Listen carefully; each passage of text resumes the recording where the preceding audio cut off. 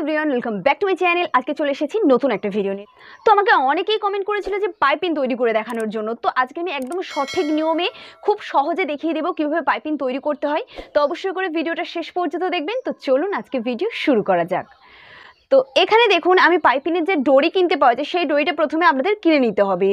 তো এটা হচ্ছে যেখান থেকে আপনারা সুঁচ, সুতো যেই সব দোকান থেকে কেনেন, সেই সব দোকানে গিয়ে বলবেন, পাইপিন তৈরি করার জন্য যে দড়ি বিক্রি হয়, সেই দড়িটা দিতে। তো এইরকমভাবে একটা রোল আসে, তো এটা আমাদের এখানে তিরিশ টাকা নিয়েছে। তো এই পুরো রোলটা আছে। তো এবারে আপনাদের যতটা প্রয়োজন, ততটা দড়ি বের করে পাইপিন তৈরি করে নেবেন। তো এবারে আমি পাইপিনটা তৈরি করে দেখাবো। তো তার জন্য কি করতে হবে? তো এখানে আমি কাপড় নিয়েছি, এই কাপড়টাকে কাটিং করতে হবে। তো আপনারা যে কোনো পাইপিং তৈরি করেন না কেন, সবসময় চেষ্টা করবেন কিন্তু তীর্ছাভাবে কাপড়টা কাটিং করার। তো তীর্ছাভাবে যদি কাপড় আপনারা কাটিং না করেন, তাহলে কিন্তু পাইপিং একদমই ভালো হবে না। তো এরকমভাবে কাপড়টা নিয়ে নিয়েছি, নিয়ে এবার কাপড়টাকে এরকমভাবে তিরছাভাবে কাপড়টা কাটবো। তো তিরছাভাবে কাপড়টা কাটিং করার এটাই কারণ কারণ তিরছা কাপড় কিন্তু টানলে বাড়ে। তো এই কারণে তিরছা কাপড় কাটিং করা হচ্ছে। তো এবারে এখানে চওড়াটা নেবেন। দেড় ইঞ্চির থেকে আপনারা বেশি নিতে পারেন, কিন্তু ওর থেকে কমভাবে কিন্তু চওড়া কাপড় কাটবেন না পাইপিং তৈরি করার জন্য। তো এরকমভাবে দাগ দিয়ে আমি এটাকেও এরকমভাবে দাগটাকে মিলিয়ে দেবো। তো এবারে এটাকে কাটিং করে নেব। তো এখানে দেখুন আমি কাটিং করে নিয়েছি। এবারে আপনাদের যে কটা প্রয়োজন এরকমভাবে একটার উপর একটা রাখবেন, রেখে আপনারা এরকমভাবে তিরছা কাপড় কাটিং করে নেবেন। তো আপনাদের যদি অনেক বেশি পাইপিং প্রয়োজন হয়, তাহলে অনেক কটা কাপড় এরকমভাবে তিরছা তিরছাভাবেই কাটিং করে নিতে হবে। তো এখানে আমি দুটো কাটিং করে আপনাদেরকে দেখিয়ে দিচ্ছি, বেশি কাটিং করব না। তো এবারে দেখুন এইরকমভাবে নেব, নিয়ে একটার সাথে একটা এরকমভাবে রাখব। মানে একটার সামনের সাথে আরেকটার পিছন থাকবে, আরেকটা সামনের সাথে আরেকটা পিছন থাকবে। তো একটার উপর একটা এরকমভাবে রেখে দেব, দিয়ে এখান থেকে সেলাই চালিয়ে নেব।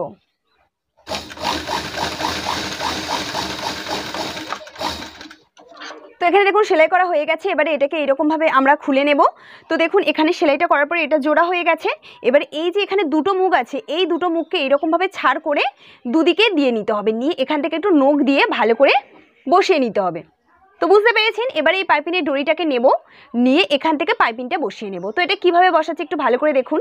এটাকে এইরকমভাবে নেব, নিয়ে আমরা যতটুকু প্রয়োজন ঠিক ততটুকুই এইরকমভাবে নেব। মানে হাফ ইঞ্চির মতন এইরকমভাবে নেব। আর বাদ বাকি কাপড়টা কিন্তু এরকম পরে থাকবে পাশে।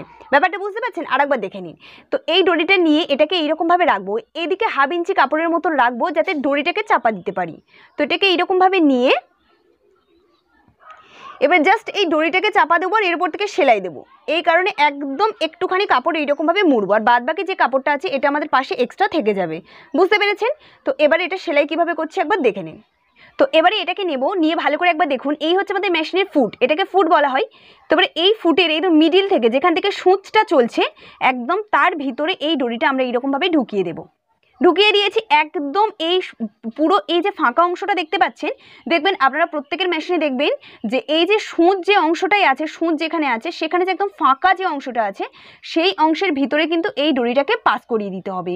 মানে একদম এই ফাঁকা অংশে দড়িটা থাকবে আর এর ওপর থেকে সেলাই হবে। এমনভাবে সেলাই করতে হবে যাতে দড়ির ওপরে সেলাই উঠে না যায় আর এই দড়ি থেকে বেশি সরেও না যায় সেলাইটা। একদম ডরির গা বরাবর সেলাই হবে। তো এবারে এটাকে আমি সেলাই করব।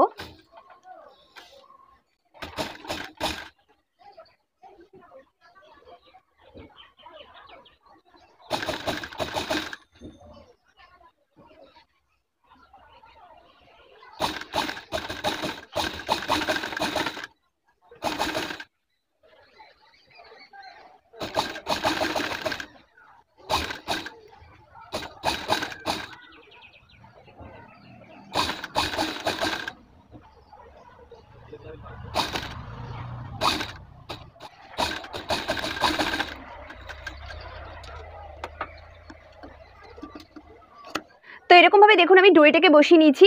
এবারে অনেকেরই কি হবে, অসুবিধা হওয়ার একটু বেশি চান্স থাকবে। কেননা এটা যেহেতু নতুন নতুন আপনারা করছেন, তো আপনাদের একটু অসুবিধা হবে। তো আপনারা কি করবেন, এই যে এটাকে এটা হচ্ছে একটা ফুট এইরকমভাবে পাইপিং বসানোর জন্য দেখবেন, এই যে ফুট আমি একবার দেখিয়ে দিচ্ছি আপনাদেরকে, বুঝতে পারবেন তাহলে। তো এই পাইপিং তৈরি করার জন্য আপনারা এই যে, এটা হচ্ছে সিঙ্গেল ফুট বলে। এগুলোকে বলা হয় ডবল ফুট দেখতে পাচ্ছেন, এই, এর ভিতর থেকে আমাদের সুচ চলে আর এগুলোকে বলা হচ্ছে সিঙ্গেল ফুট মানে এর একটা ফুটের পা থাকবে আর আর একটা সাইডে থাকবে না। মানে এটা জাস্ট এইরকমভাবে চলবে। মানে আপনারা এটা ডান সাইড আর বাম সাইড দু সাইডেরই পাওয়া যায়। এটা হচ্ছে আমার এইরকমভাবে অ্যাটাচ হবে। মানে এটা আমাদের বাম সাইডে মানে এইরকমভাবে বসবে। আর একটা আছে ডান সাইডে মানে এইরকমভাবে বসবে। মানে আপনাদের সুবিধা হবে যখন আপনারা এরকম পাইপিং সেলাই করবেন, সেলাইটা একদম এর গা বরাবর যাবে। মানে এখানে কোনো ফুড নেই, তো আপনাদের অসুবিধা হওয়ার কোনো কথা নয়। এগুলোকে বলা হয় সিঙ্গেল ফুড তো আপনারা এরকম দোকানে গিয়ে যেখান থেকে সুসুতো বিক্রি হয় বা সুঁচ বিক্রি হয় বা লাইলিন বিক্রি হয় যেসব দোকানে সেই সব দোকানে গিয়ে আপনারা বলবেন যে এরকম সিঙ্গেল ফুড দিতে এগুলোকে চেন বসানোর জন্য কিন্তু এই যে ফুডটা এটাকে খুব কাজে লাগে। তো এই ডবল ফুডটা খুলে এটাকে জাস্ট এর সাথে এরকম সেট করে নিতে হবে। নিলে দেখবেন খুব সহজে আপনারা যে কোনো চেন বসানোর সময় কোনো অসুবিধা যদি হয়, তখন এটা কাজে লাগাতে পারবেন। পাইপিন বসানোর সময় এটা কাজে লাগাতে পারবেন। আর এগুলো হচ্ছে ডবল ফুট বলে বুঝতে পেরেছেন? তো এবারে এখানে তো আমি পাইপিংটা বসিয়ে নিয়েছি। এবারে কি করব? এই যে কাপড়টা আমাদের এক্সট্রা আছে, এই কাপড়টাকে এইরকমভাবে মুড়ে নেব, নিয়ে এটাকে সেলাই করে নেব। যতটুকু কাপড় এক্সট্রা আছে, এখান থেকে মুড়ে, একটুখানি করে মুড়ে এর ওপর থেকে সেলাই চালিয়ে দেব। তো এখানে দেখুন আমি সেলাই চালিয়ে নিয়েছি। এবারে এটাকে আমি আপনাদেরকে বসিয়ে দেখাচ্ছি। তো এখানে একদম পিস নিয়ে নিয়েছি, গোল রাউন্ডে বসাবো। তো এটা কীভাবে বসাবো একবার দেখে নিন। তো এখানে দেখুন পাইপিংটাকে নিয়েছি। পাইপিনের এটা হচ্ছে উল্টো সাইড দেখুন, এখানে দেখুন আমি এই যে সেলাইটা দিয়েছিলাম কাপড়টা, এটা হচ্ছে পাইপিনের উল্টো সাইড আর এই হচ্ছে আমাদের মেন কাপড়ের এটা সোজা সাইড তো উল্টো সাইডটা এইরকমভাবে নেব, সোজা সাইডে এইরকমভাবে রাখব। আর রাখব কতটা? দুশুদ গ্যাপিং দিয়ে এরকম ছাড় দিয়ে এইরকমভাবে রেখে দেবো। দুশুদ এর বেশি কিন্তু নয় দুশুদ করে ছাড়বো। ছেড়ে এইরকমভাবে সোজা সাইডের ওপর এইরকমভাবে রেখে যাব। গিয়ে পুরো এর ধার বরাবর পুরো সেলাই করে যাব।